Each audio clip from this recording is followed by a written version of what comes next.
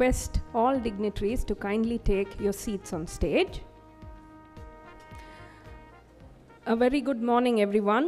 Students, colleagues, Mahe officials, dignitaries, and our beloved chief guest.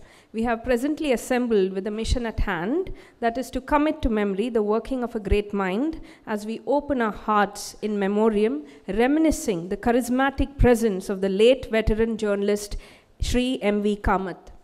Thereof, we presently begin with the invocation by Miss Mandira. Saraswati नमस्तुभ्यं वरदे कामरूपिणी Karishyami Siddhir Bhavatu Me सदा हे Sharade. ದಯಪಾಲಿಸು. ಈ ಬಾಳನು ಬೆಳಕಾಗಿಸು. ಹೇ ಶಾರದೆ ದಯಪಾಲಿಸು. ಈ ಬಾಳನು ಬೆಳಕಾಗಿಸು. ನಾಳೆಗಳ ದಾರಿಯಲಿ ನಂಬಿಕೆಯ ನೆಲೆಯಾಗಿರಿಸು ಮುನ್ನಡೆಸು ಕೈ ಹಿಡಿದು. ನಾವಾಡೋ ಪದ ಪದದಲ್ಲೂ ಸಂಚರಿಸು. ಹೂವಲ್ಲಿ ಜೇನು ಗುಡಿ ಕಟ್ಟದೇನು ನೀರಲ್ಲಿ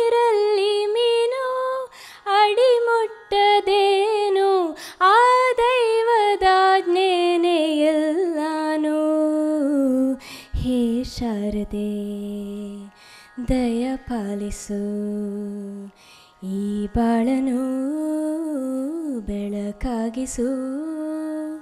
ಹೇ ಶಾರದೆ.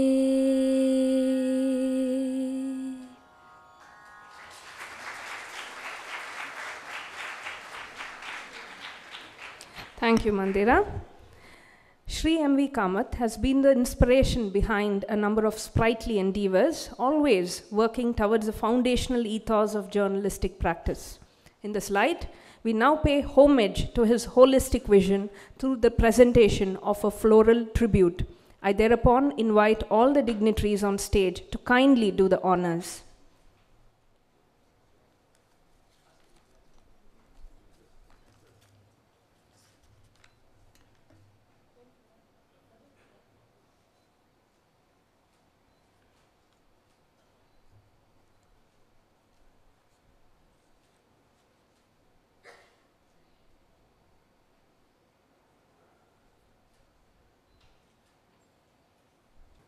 Thank you. I now request Dr. Padmarani, Director MIC, to present the welcome and introductory remarks. Honorable Mrs. Malini Parthasarathy, Chairperson of the Hindu Group Publishing, Pro-Chancellor of Manipal Academy of Higher Education, Dr. H.S. Ballal, Registrar Dr. Narayan Sabhahit, university officials, media personnel, faculty, staff, and students from the various institutions of MAHE and MIC. A warm good morning to all of you. As director of Manipal Institute of Communication, it's my privilege to welcome each one of you for the 8th MV Kamath Endowment Lecture. Manipal Institute of Communication is a constituent unit of Manipal Academy of Higher Education, an institute of eminence. Today, we have with us our esteemed chief guest, the chairperson, the Hindu Group Publishing, Mrs. Malini Parthasarathy, to deliver the 8th MV Kamath Endowment Lecture. Mrs. Malini is a graduate in journalism from Columbia School of Journalism. After a brief stint at Washington Post, she joined the Hindu. She has dabbled in a number of fields like journalism, policy think tank, and administration. She has many firsts to her credits being a women journalist. She is one of the few women who have been at the helm of affairs in a media organization, especially the print media in India. A cordial welcome to you, ma'am, on behalf of MIC and the Mahe fraternity.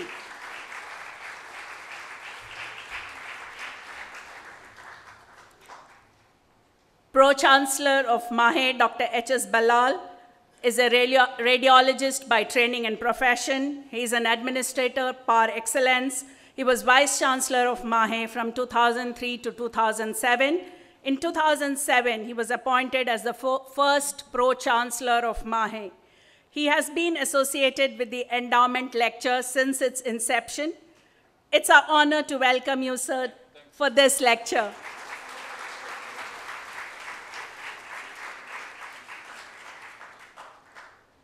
I deem it my pleasure to welcome Registrar Dr. Narayan Sabhahit for this endowment lecture. He has over three decades of experience in teaching, research, consultancy in geotechnical engineering and administration. He was appointed as the Registrar of MAHE in 2015. A warm welcome to Pro Vice Chancellor Health Sciences, Dr. M. Venkatraya Prabhu. A warm welcome to all the university officials, heads of institution, friends from the media, faculty, staff, and students of MAHE and MIC. The endowment lecture was started in the memory of our honorary director, Dr. M.V. Kamath, Sri Madhav Vittal Kamath, MVK, and also properly addressed as Madhav by some of his close associates. Manipal Institute of Communication was the dream child of Kamath sir. Since its inception in 1997, he remained actively associated with it till his death in 2014. MIC celebrates its silver anniversary this academic year. We've been consistently ranked among the top mass communication colleges in the country. We offer courses at different levels undergraduate, postgraduate, PhD programs, also postgraduate diplomas and certificate courses. MIC started with only 19 students and one course in 1997. Today, we have 600 plus students and eight courses. M.V. Kamath was born at Udupi on 7 September 1921, and he passed away in October. And that's the reason we generally try to have the endowment lecture in the month of September and October to remember him. He had his early education in Udupi, Mangalore, and then moved on to Bombay. In Bombay, in 1946 is when he started his journalistic career with the Free Press Journal and later on became the editor of the Free Press Journal. For the next 40 years, he worked in the field of journalism at different levels in different countries, influencing people wherever he went. In his journalistic career, there's no field which Mr. Kamath had not set his hand upon. He worked as the editor of the Sunday Times for two years and then moved on to become the foreign correspondent at Bonn, Paris, and then the Washington correspondent for the Times of India for nearly a decade. This was a golden age in his career. From 1978 to 81, he worked as the editor of the then leading weekly magazine, Illustrated Weekly of India. He was also appointed as the chairman of the Prasar Bharati, and in 2004, he was conferred with Padma Bhushan. He wrote innumerable articles concerning political and social matters in famous newspapers. He was very much familiar to the readers of Udayavani, a local Kannada newspaper where he wrote a Sunday column regularly. Even in his retired life, Mr. Kamath's hobby of writing continued on media, politics, and literature. He has written the history of various banks like Corporation Bank, Syndicate Bank, and also two books on our Prime Minister, Mr. Narendra Modi. For years, he would be in his office at 8:45 a.m., read his newspapers, answered his mails, wrote his columns, interacted with students, parents, and guests, and after a lunch break, again remained in office till he finished the work assigned for the day, which was usually till 5:30 p.m. Such was his commitment to work that even the week he left for the heavenly abode, he had completed his columns for the week. He was a keen learner and a great storyteller. He could describe the scene at the gateway of India, the night when India attained her independence, with the same zeal and enthusiasm, year after year on the Independence Day celebrations of Mahe. And I think all of you who have been old timers in Manipal have had the privilege of listening to it both as students and as faculty. I personally was associated with MV Kamath at MIC. He was keen that all of us, faculty uh, members and students, travel abroad, visit universities, learn things from various places, and implement them here. He was constantly prodding us to publish as he wanted to see Mahe among the top universities in the world. It's not only the faculty and the students, but he was concerned about everybody around him. Mr. Kamath was known for his integrity as a journalist and his courage to call a spade a spade. I quote John Quincy Adams If your actions inspire others to dream more, learn more, do more, and become more, you're a leader, unquote. Mr. M.V. Kamath was one such person. Ladies and gentlemen, we've gathered here today to remember and pay our respect to this great personality. In 2015, MIC started the endowment lecture in his memory a year after his death, and we have continued to have it every year and hope to keep his memory alive in the future. Once again, a warm welcome to each of one of you present for this lecture. Jai Hind.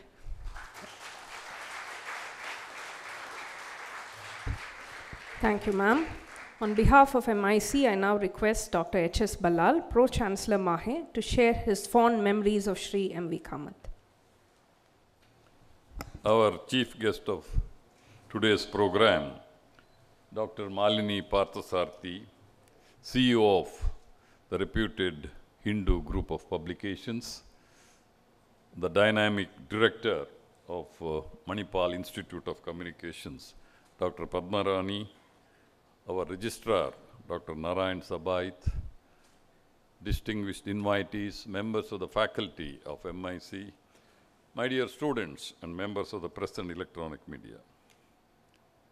Whatever I wanted to tell Padmarani has already mentioned because I was supposed to speak about the biodata of M.V. Kamath. She has given in more great details and also she has given me just three minutes from 11.07 to 11.10, isn't it? But anyway, I was prepared a big list here, notes, you know, but I'm not going to read all that, you know, because it will definitely take more than three minutes.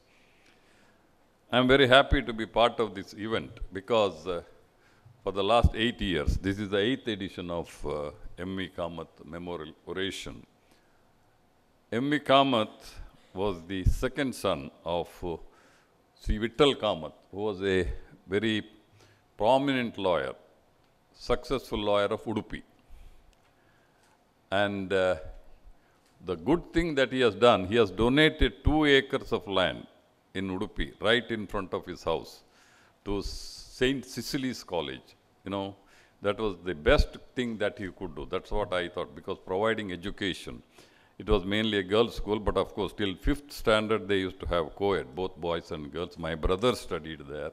My wife was an old student of St. Cecily's Convent, which is a very famous school in Udupi, and also now they have become a junior college also.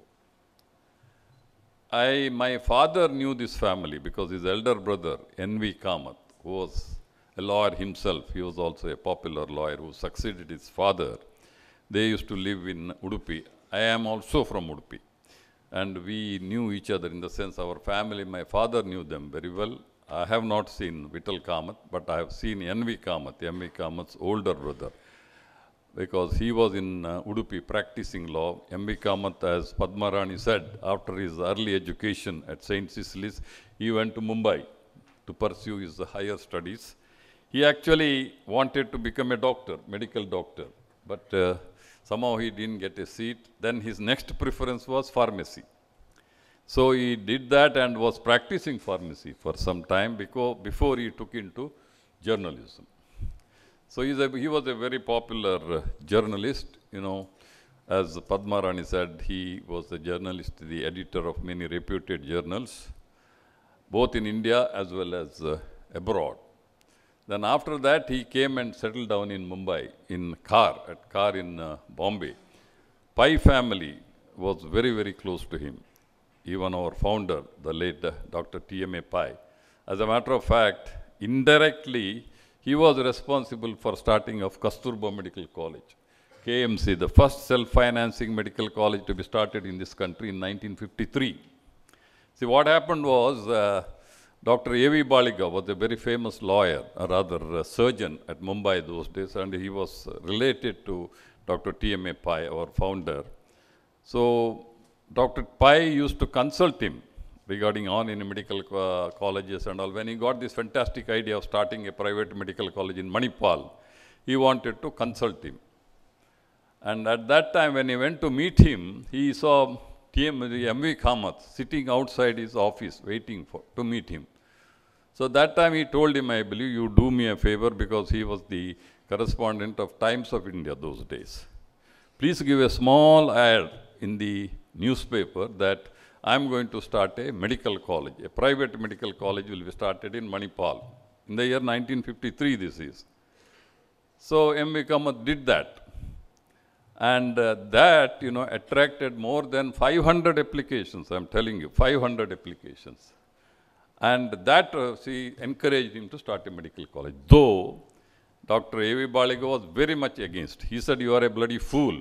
How can you start a medical college? Because Manipal was not this Manipal at that time. It was a barren hilltop. See, medical college training, most of it happens in the hospital. We did not have a hospital those days. So where will you give the training? But he had fantastic idea. We were under Madras province those days. Our district was under Madras province. Government of Madras that we don't have money, but we will give you hospitals at Mangalore. Because Udupi was a small place with about 25 bed hospital at that time, and it was not a district also. Mangalore had a bigger hospital, general hospital called Wenlock, and a women's and children hospital called Lady Goschen. So we used that so-called PPP, private public private partnership started in 1953 that was the brilliant idea of our founder which our now government is trying to emulate that's how the medical college has started so it is not wrong to say that mv kamath had a role in the starting of this uh, private medical college so after he retired from his journalism as i told you he settled down in mumbai Khar in mumbai ramdas pai used to visit him very frequently during one of the visits he said, I believe uh, I am retired now. And about a year or six months before Ramdas Pai visited, it seems he fell ill. And he had to be shifted to the hospital. But that flat didn't have a, a lift. So he had to be virtually carried in a chair. So Ramdas Pai said, uh, instead of all this, why can't you come to Manipal? Where all the facilities of a uh, metro city is there, no traffic, good weather, very good pure air to breathe. Why can't you come and settle down in Manipal? He agreed to that and then came and settled down in Manipal in 2004. From that year onwards, I knew Madhav Kamath or M.V. Kamath from very close quarters. Till then, I didn't know, but he was associated with our university for a long period of time as board of management member and all. But after that, I came very close to him, very close uh, association we had for about 10 years before he died in the year 2004, 14. He was a voracious reader, used to write a lot of things, you know, and he wrote more than 50 books. And he used to have this old typewriter those days to write the material, which the company had stopped manufacturing those days, you know. So he had two typewriters. So he used to typewrite, and the typewriter used to go out of order. He used to call me, Subhash Babu, I have a problem. I have become unemployed now. My typewriter is out of stock. Now, please get it repaired immediately. Fortunately for us, there was a, a repairer in our MIT those days repairing those typewriters. So I used to call him and tell him, do it immediately. Otherwise, I will get at least three, four telephone calls every day. So that's how it used to happen. So that's what M.V. Kamath was. We had a very close relationship. And in 1997, as Padma Rani said, MIC, which was his brainchild, it was started and he was continuing as the, as the honorary director of MIC till his uh, demise. One of his ambition or request was to start a language department in our university, which we were not able to do during his lifetime, but we started it after that, the language department, which he was very, very fond of. So in 2014, he died. He had a peaceful death. So after his death, we thought we should have a, an endowment lecture in his honor. And during the last seven years, we had seven very important people, some from journalism and some for other fields also. Actually, Vice President of India, MV uh, Venkaiah Naidu also was one of the guests, and Nirmala Sitharaman also was there, Finance Minister. And this is our eighth edition. We are very fortunate to have Dr. Malini Parthasarathy, boss of Hindu Group. You know, Hindu is a very prestigious uh, newspaper, and we are from Madras uh, sta- province, you know. So our side, in the morning, if you see people are old timers.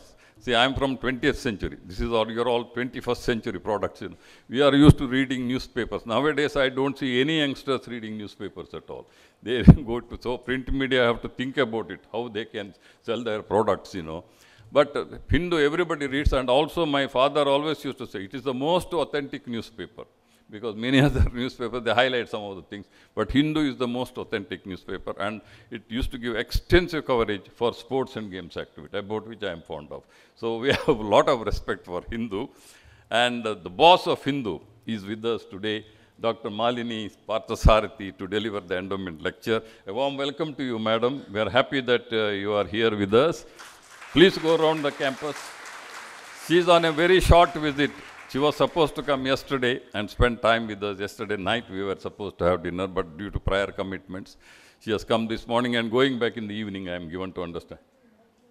Yeah, but anyway, whatever time you have, go around the campus and see for yourself what we do. Yeah, because seeing is believing. This is your first visit, you know. So we want people like you see that so that you can see the facility. Seeing is believing, as I said, so that we can showcase whatever we do. So because that we feel is the best way of advertising, word of mouth, rather than print media or television and all. With these few words, uh, ladies and gentlemen, I am very happy to be part of this uh, M.V. Kamath 8th endowment lecture. Thank you very much, Padma Rani, and all the rest of MIC for giving me this opportunity.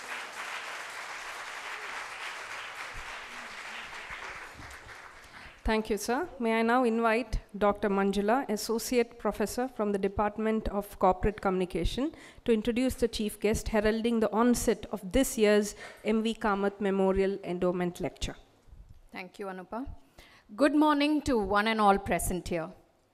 I'm deeply honored to be introducing our distinguished speaker for this year's MV Kamath Endowment Lecture, Dr. Malini Parthasarathy. Dr. Parthasarathy is the chairperson of the Hindu Group Publishing since July 2020. She was formerly the editor of the Hindu newspaper, the group's influential flagship publication between 2013 and 2016. Earlier, she was the executive editor of the paper from 1996 to 2004. Prior to that, Dr. Parthasarathy was a special correspondent at the paper's National Bureau in New Delhi, reporting on political and international developments. Dr. Parthasarathy has been a political journalist for three decades and more, writing news stories and editorials on major themes in Indian politics, particularly on the rise of Hindu nationalism, the changing context of the Indian political landscape, including the decline of the Congress party as a flagship uh, bearer, as a flag bearer of secular nationalism. In January 2013, when the public confidence in India's democratic institutions and political processes was at an all time low, she founded the Hindu Center for Politics and Public Policy, a think tank intended as a credible and independent platform for an exploration of ideas and public policies, the aim being the rebuilding of public faith in India's democratic process. The highlights of her journey as a reporter and editor includes a series of interviews with Indian prime ministers, Sri V.P. Singh, Sri Rajiv Gandhi, Sri P.V. Narasimha Rao, and Sri I.K. Gujral. She was the first ever Indian journalist to interview former Pakistan President Pervez Musharraf in January 2000 at a highly inflamed moment in India Pakistan ties, taking place shortly after the hijacking of an Indian passenger aircraft to Kandahar, Afghanistan. She had a second interview with President Musharraf in 2002.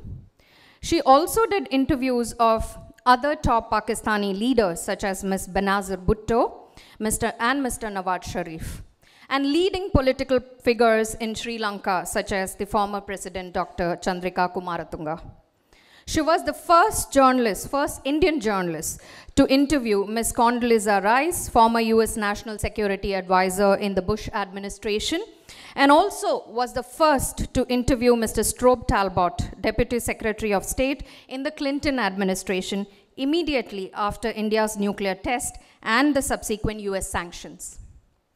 Dr. Partha completed her doctoral studies from the Center for Political uh, Studies, JNU, in 2008, and a master's degree in MS uh, in journalism from Graduate School of Journalism, Columbia University in 1982. After graduating from Columbia Journalism School, she worked briefly as the visiting journalist at the Washington Post before joining the Hindu. Currently, as the chairperson of the Hindu group of publications, she is actively steering a journey of digital transformation of the editorial products, particularly the Hindu, which now has a strong digital presence with an increasing subscriber base, not limited to India. Her focus now is on ensuring that the publishing group establishes a leading presence in, a, in the new media territory without losing focus on the core business of printing and the imperative of maintaining the credibility and integrity of its journalistic offerings. She has received several awards and recognitions, and I would like to name a few before wrapping up the introduction. She won the Puthiya Thalaimurai Shakti Award for Leadership in 2018. In 2021, she was awarded the Sri Shankara TV Navashakti Award. She also um, won the Distinguished Alumni Award 2022 from the Columbia University Graduate School of Journalism. Uh, she was given the Haldi Ghati Award for Excellence in Journalism, 1999-2000. Uh, These are to name a few. And with this, I conclude the introduction. Thank you so much.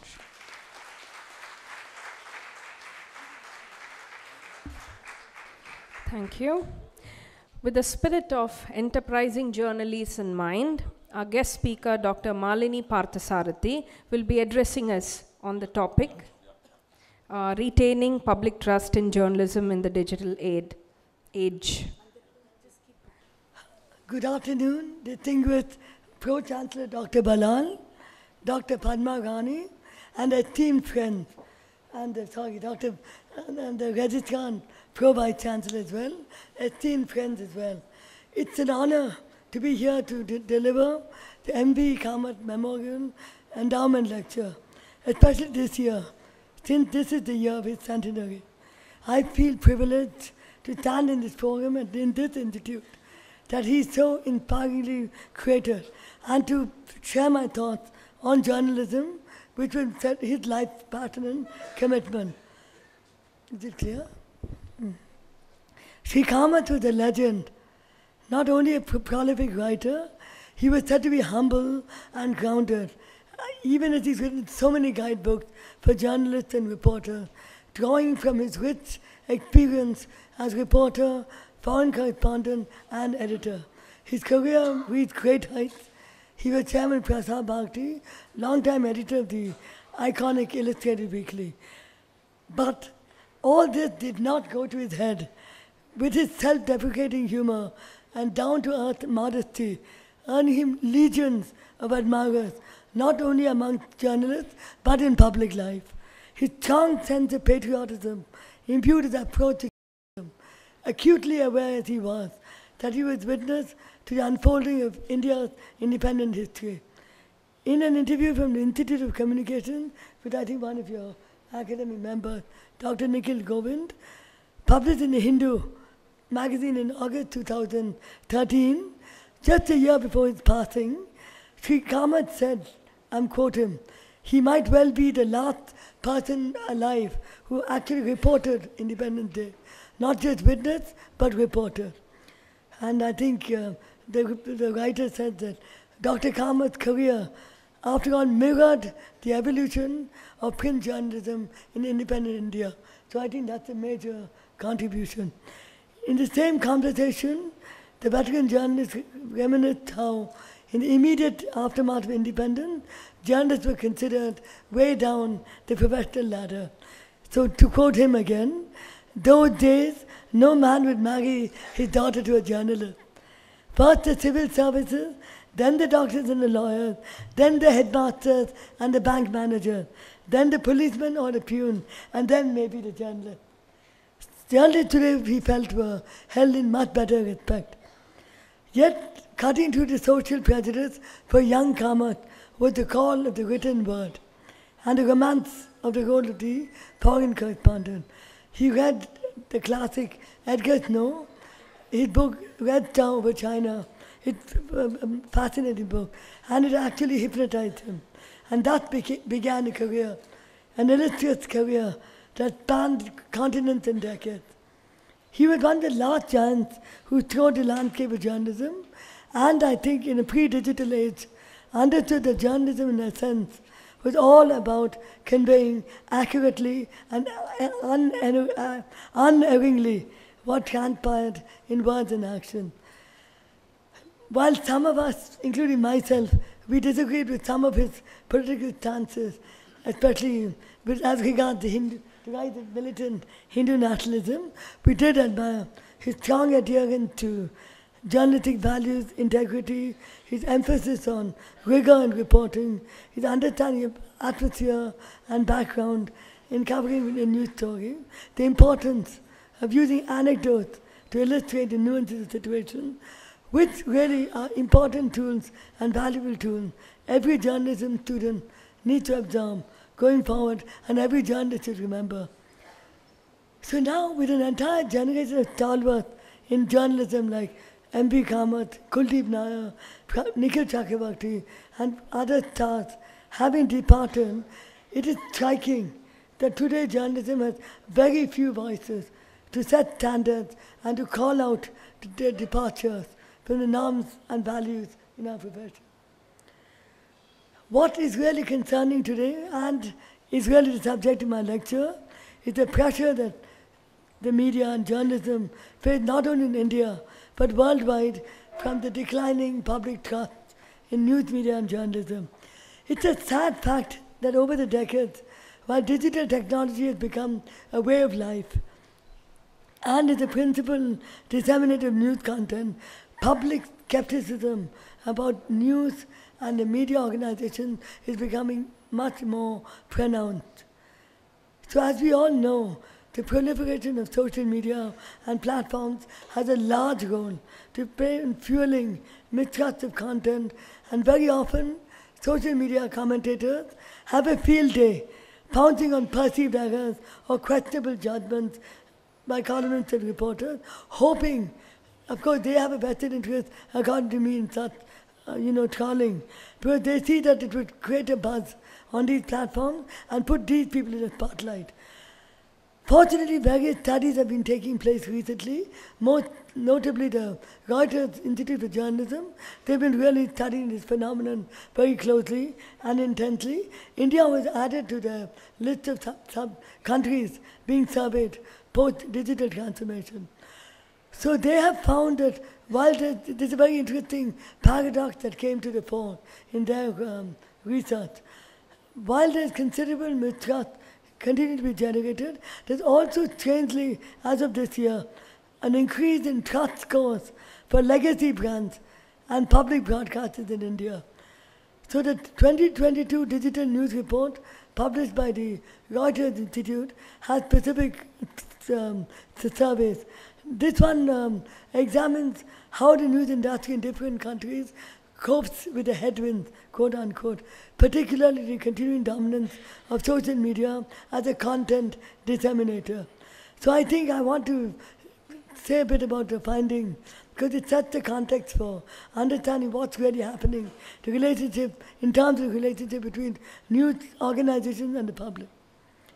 This report finds that leading television brands are the most popular offline brands, with mostly English language, internet using survey respondents, and also equally popular are national newspapers. Also, print media has recovered from the pandemic slump, the overall reported revenue growth of 20% in 2021, including a strong bump from advertisement. Yet, legacy media platforms such as ours are facing stiff competition online from vibrant digital born brands that pursue independent journalism. The report finds that despite these brands having to rely on non-profit revenue model, mostly deriving support from grants and reader donations, the digital market too saw an overall growth of 29% in 21, 2021, with advertising and subscription revenues growing at 29% each. The second very important feature and interesting, which was found about India, is that India is a strongly mobile-focused market with 72% accessing news through smartphones and just 35% by computer. News aggregated platforms like and apps like Google News, Daily Hunt, and NewsPoint have become important ways to access news and are greatly valued for convenience. Social media are popular with a significant number in the surveyed audience using YouTube and WhatsApp. So this report found that India registered a small increase in news trust, improving its overall position among the 46 markets surveyed. Legacy print brands and public broadcasters like DD News, All India Radio continue to enjoy high trust, while 24-hour television channels are less well trusted, along with newer digital-born brands. But what is clear, just, not just from the surveys, but the challenges that we face as news organizations and we see on the ground. Ever since the rise of digital technology and social media proliferation, the nature and substance of news consumption by newer generations of users is substantively changing. Legacy brands like ours need to reckon with this rel- relentless reality of digital technology becoming the main disseminator of consumer content and thereby connect, creating a connect with users.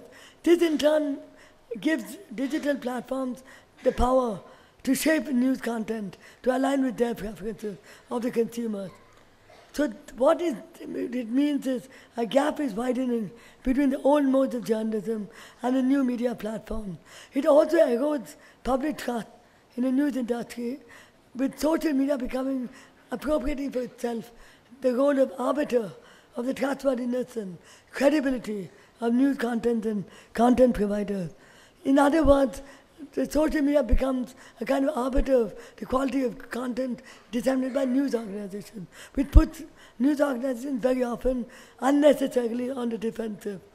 See, unlike in the past, you had star editors able to fascinate the reading public with their analysis and their punditry, and readers were drawn to editorialists and their judgments.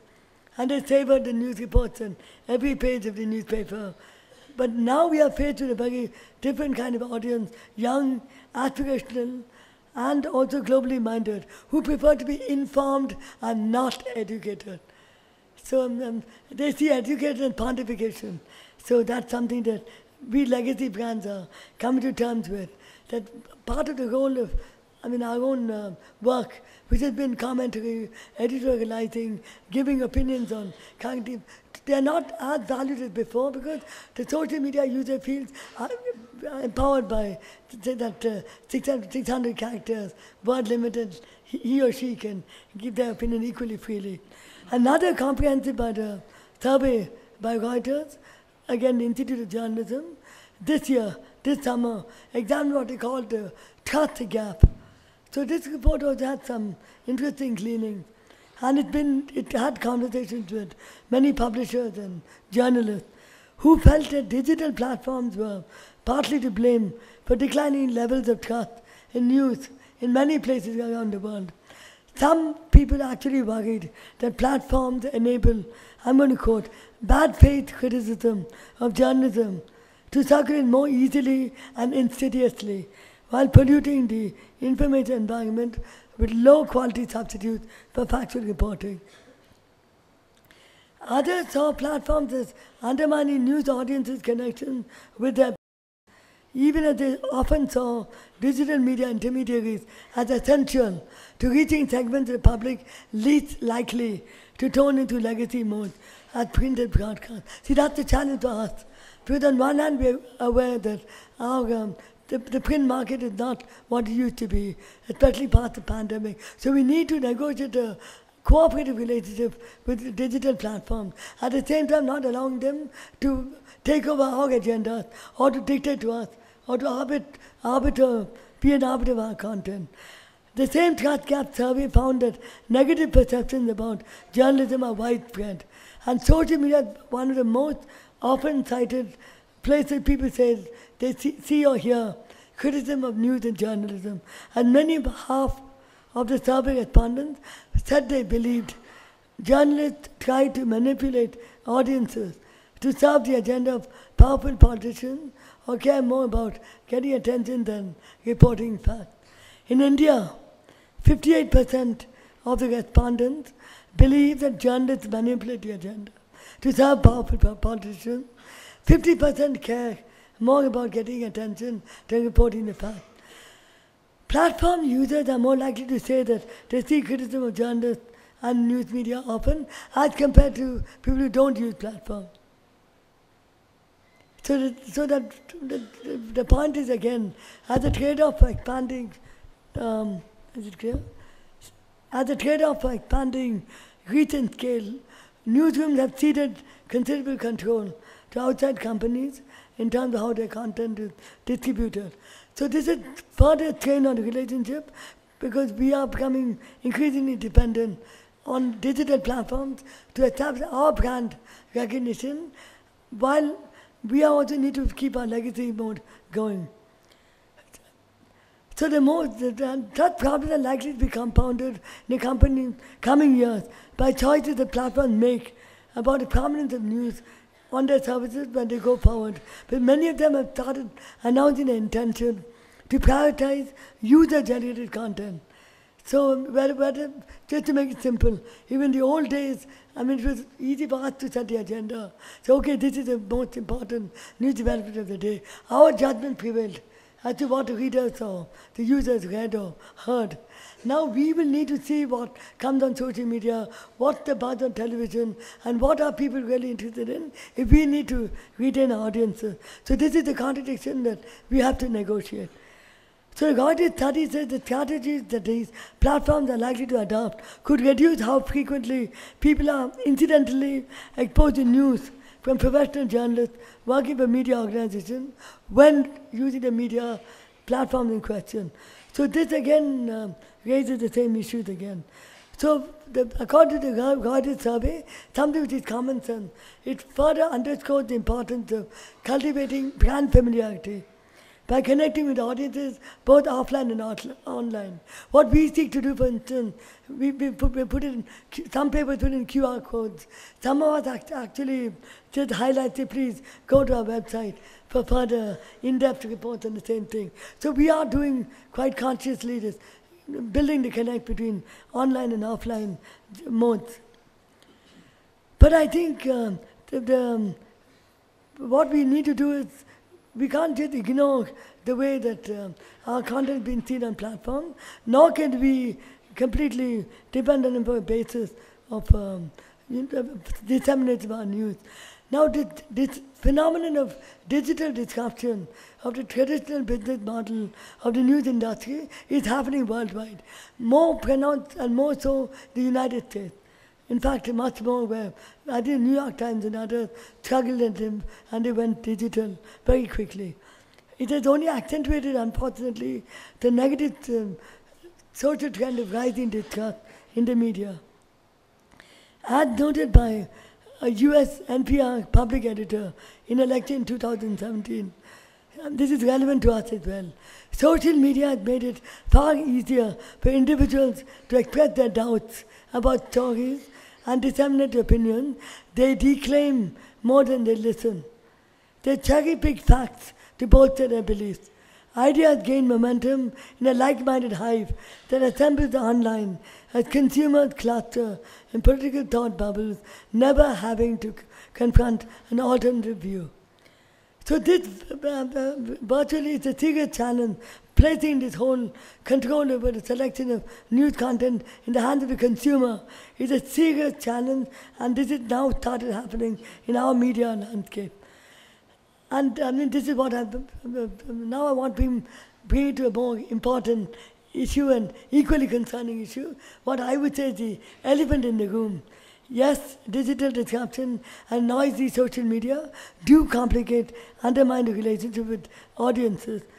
But the challenge worldwide, and in India in particular, has been the increasingly stressful pressure on the media and the public discourse by both government and political parties.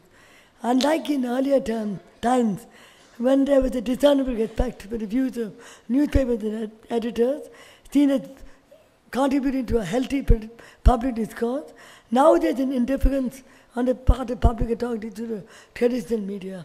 Gone are the days when the government or party spoke to get the vote. Thank you. Thank you. And I'm saying gone are the days when the government or party spokesperson were eager to engage the press in conversations about critical public policy issues. There's a clear tendency to bypass the mainstream media by communicating only through social media and radio, thereby not allowing the development of a healthy public discourse where accountability of public officials is a must. And I think social, I think we all know, social media sites have become battlegrounds for, for contest, contestation between political parties, with the media very often a hapless protagonist in these unsavory propaganda wars. With their news content be used as cannon fodder for sparking new political controversy. And in the process, trying to take down the opposite political view, the media gets dragged into these controversies, sometimes lo- losing its own sheen and its own gravitas. I need not emphasize enough that pressure on the media and undermining its role in the public space is dangerous for the health of our democracy. It's a matter of concern that while at independence, it was seen as axiomatic that the press as the fourth estate was a respected pillar of India's new democratic state. Now the space for media to function freely and fearlessly as a watchdog has been greatly curtailed as a result of state action. The pressure on the press is both economic and legal.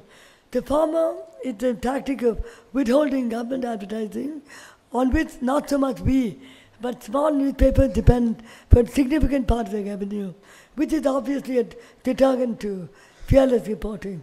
The second, more visible, is legal harassment, which states ruled by the BJP and, of course, some opposition parties, West Bengal and uh, and Telangana, Andhra Pradesh. Um, they often slap cases on journalists invoking penal laws on uh, creating disharmony and conflict am- among communities when you report communal clashes, and uh, especially when there are hate crimes against minorities. Even then, these penal provisions are introduced and to intimidate uh, people from reporting freely. During the COVID pandemic, journalists who reported critically an oxygen shortages and overburdened hospitals were charged with creating panic. I, I would say one beacon of hope in the troubling period has been the Supreme Court. It has intervened frequently to protect journalists. And last May, which is a landmark ruling, I think we have a great Chief Justice just coming in now, and hopefully he gives thought to it, and we will see a landmark judgment soon. The court has suspended the operation, the sedition provision, after union government came forward uh, under pressure to review the colonial era law that has over decades proven to be a deterrent to free speech. Sedition has been a major uh, colonial relic and the government has been promising to repeal all colonial era legislation. So obviously sedition will have to be a piece with that. Hopefully Justice Chandrachud and others will uh, take some, uh, make a very definitive formulation on that. The court has also cast its eye on the new information technology rules framed by the union government in order to regulate inflammatory content and fake news on social media platforms. The rationale set out for this new set of rules was that, again I quote, Over the years, the increasing instances of misuse of social media by criminals, anti-media national elements have brought new challenges for law enforcement agencies.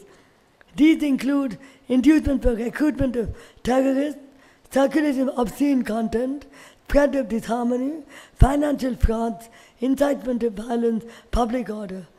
So there are certainly legitimate concerns that social platforms have become tools of abuse and misinformation and are harmful to national security. But the are a matter of concern for news publishers because in effect the solution proposed is the problem. The redressal mechanism set up under the rules envisages three tiers of self-regulation and it has its uh, ultimate uh, arbiter of content on digital platforms and oversight mechanism by the government. Right now it's still under process because there are various challenges in various state governments. Uh, but the implication of such a mechanism, should it come to be, is disturbing.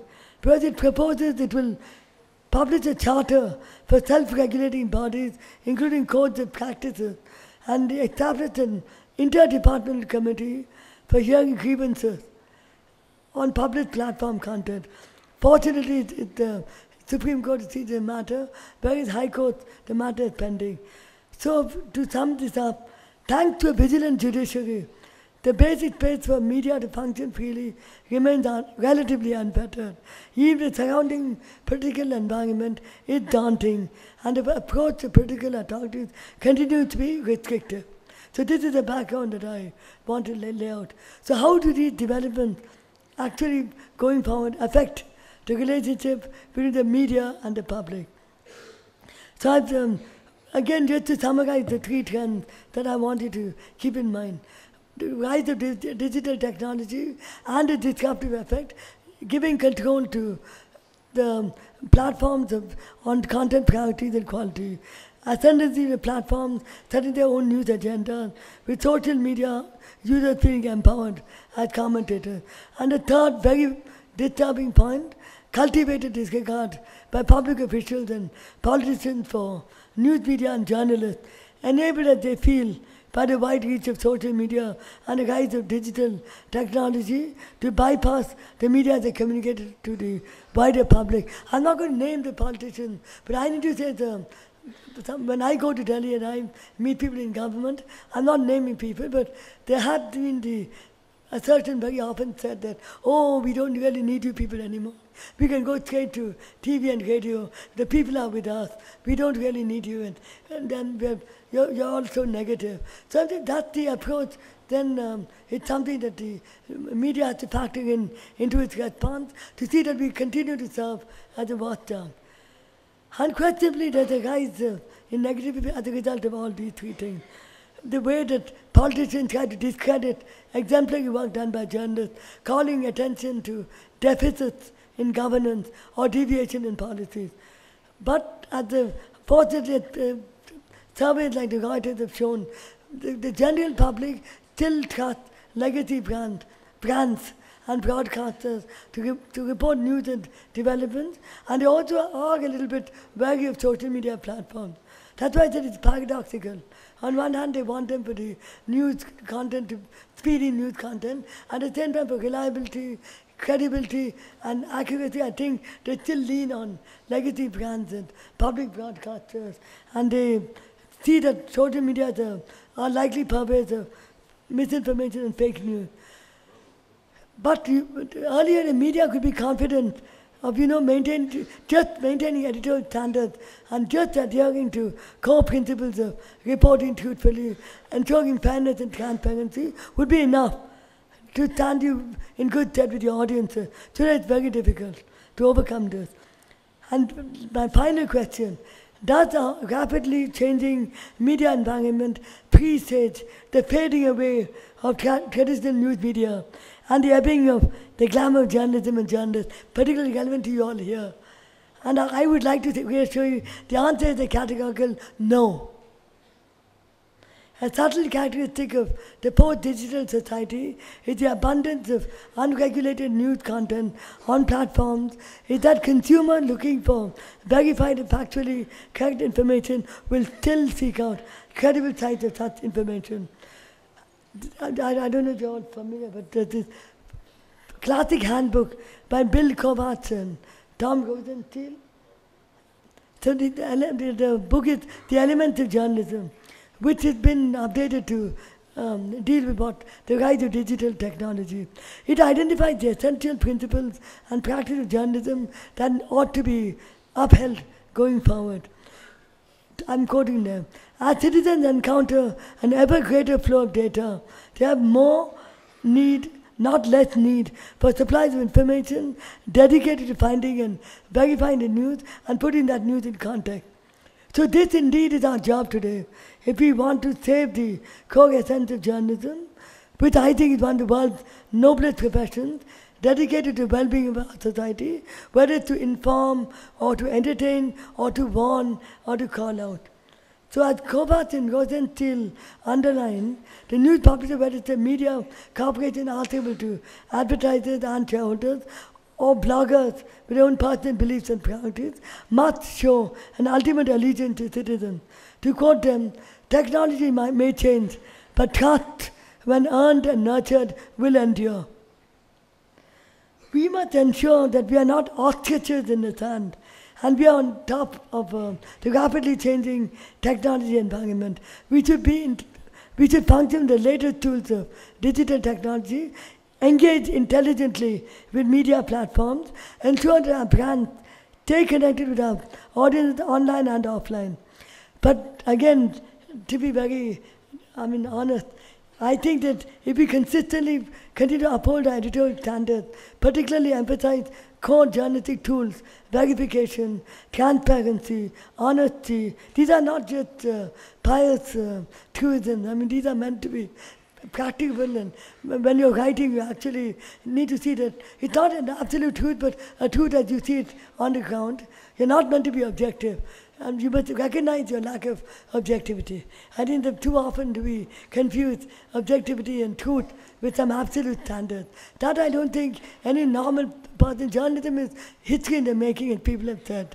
So my point is that it's more honest to recognize our biases, and more honest to say that there's no absolute truth. It's the truth as we see, and the only best way you can do it is by diversity, a multiplicity of sources, making sure that um, you're, you're hearing as many voices as possible. If we do all that, and editing and reporting, the another casualty of the, the rise of digital technology, been the, I mean, I'm, we are guilty too, elimination of copy editors, what they used to call sub-editors. So that's leading to a lot of errors. Even when we take agency photographs and news items, very often we make slips which uh, you get pounced upon and trolling, where you just by mistake you don't edit closely. So I think if we stick with this, we will be providing um, quality content to our audiences who, who will appreciate them. And we should also acknowledge that we should be, acknowledge the tremendous advance by digital platforms, respect them as powerful content disseminators, keep updating our techniques of storytelling, expand our imagination in the presentation of our content. I think we will uh, really, mm, by virtue of wide reach to our audiences in the democratic society, I think it's our duty to hold public officials accountable, but not be overly pessimistic about the pace of transformation. I'd like to thank the Academy, the Institute, for giving me this wonderful opportunity to share my thoughts on this important topic and in memory of a journalistic legend, M.V. Kamath. Thank you all for staying so long and listening. Thank you, ma'am. Q&A session. Uh, we are now open for a cursory Q&A session, but because we are also suffering from the dearth of time, we're going to keep it short and crisp. So I'll be just reading two of the questions posed by our students. The first one being, as students in the current media scenario, we are preparing for the challenges that we are going to face in the profession. What are your suggestions, ma'am? I think I've uh, mentioned that in my lecture that going forward you need to be optimistic. First of all, you should be sure that there's a wonderful career as journalist. Secondly, I think we should not abandon the uh, traditional and, and I would say optimistic visionary way of most of us, I mean, uh, including the Hindu and including all of us, come to journalism because we see it as a public service, and we are enthused by the um, opportunity to, you know, speak for society and and uh, be a watchdog. So I would think continue to please uh, keep those values, but be aware that you can't uh, aside that technology is changing rapidly. And being a journalist today is not the old way of, as I just said in my lecture, it's, it's not enough to just pontificate anymore. We have to be more, we have to be a storyteller rather than any kind of, uh, I mean, no other. I think the role of a storyteller is what a journalist needs to remember. Okay, ma'am. The second question is It seems that public interest journalism on the whole is diminishing over the years. What are your suggestions, madam, to re establish this kind of journalism broadly? Uh, public interest journalism. Um, I would think all journalism is in public interest. So the old days of you know saying public interest journalism, I think nowadays that's exactly what I mean. That it's become outmoded. I think some of the concepts we used to see earlier, development journalism, public interest journalism, this is my own opinion, not to discredit legitimate fields of study. Me as a uh, journalist and publisher would think that these are a bit obsolete to assume that journal, all journalism is for the public interest. But it, public interest includes entertaining, and it includes appreciating your reader or user has the right to know what he or she wants. Thank you, ma'am, for lending us insight on various topical points. On the same note, as a token of our appreciation, I request Dr. Narayan Sabhahit, Registrar Mahe, to present Dr. Malini with a memento.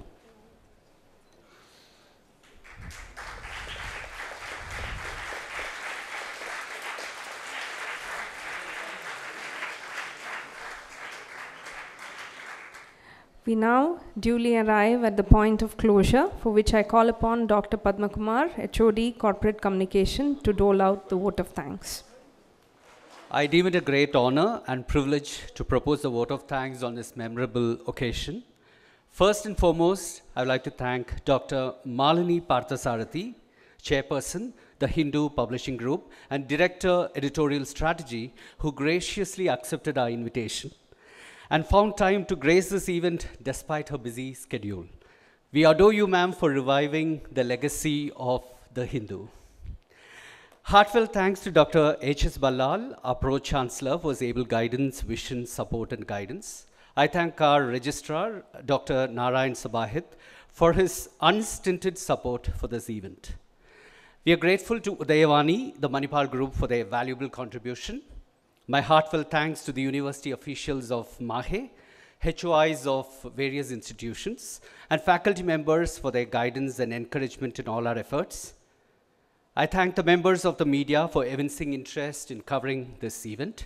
Special thanks to Hotel Fortune Inn Valley View for their cooperation and service. We owe special gratitude to the audio visual department of Mahe for the coverage of the event. Thank you all. Thanks for joining us.